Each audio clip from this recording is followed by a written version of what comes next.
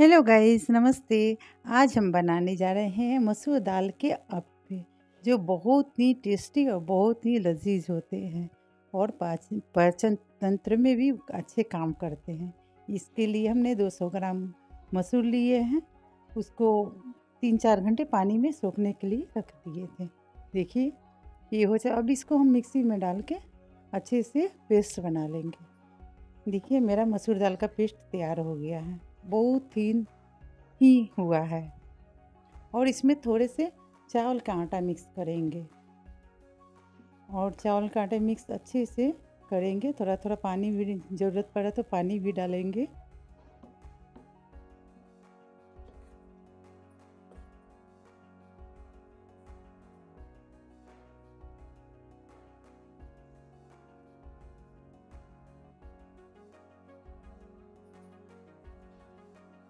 इसमें लम्स नहीं रहने चाहिए।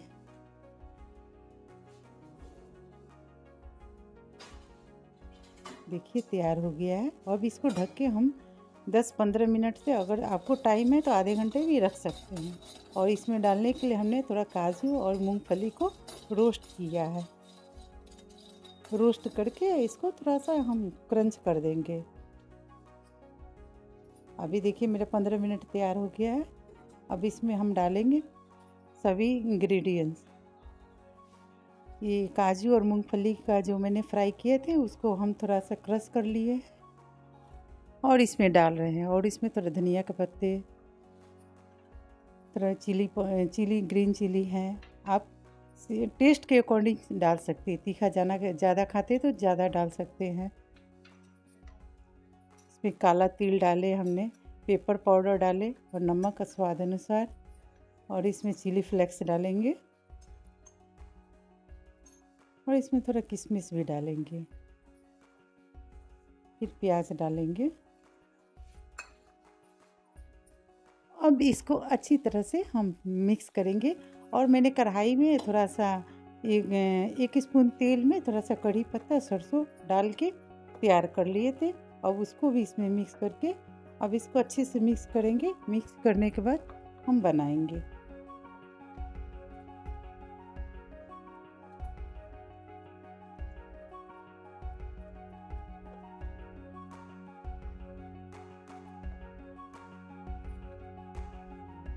देखिए अच्छे से मिक्स हो गया। आप अपे तवा लेंगे, उसमें थोड़ा सा तेल डालकर एक एक चम्मच डालते जाएँगे। आप अगर छोटा बनाना चाहते हैं तो कम डाल सकते हैं।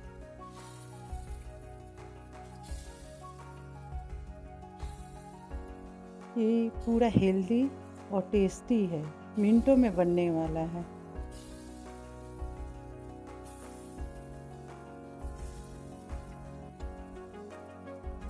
अब इसको हम ढक देंगे।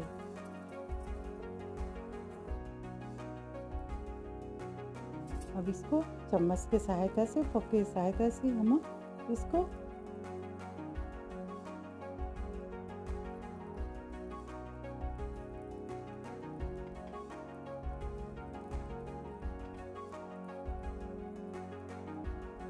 हमने तेल बहुत कम यूज़ किए हैं, बस थोड़े थोड़े ग्रीस किए हैं। आप चाहिए तो थोड़ा ज़्यादा भी डाल सकते हैं।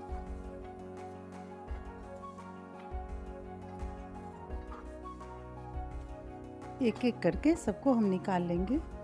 इसी तरह हम सभी पेस्ट को बनाते जाएँगे।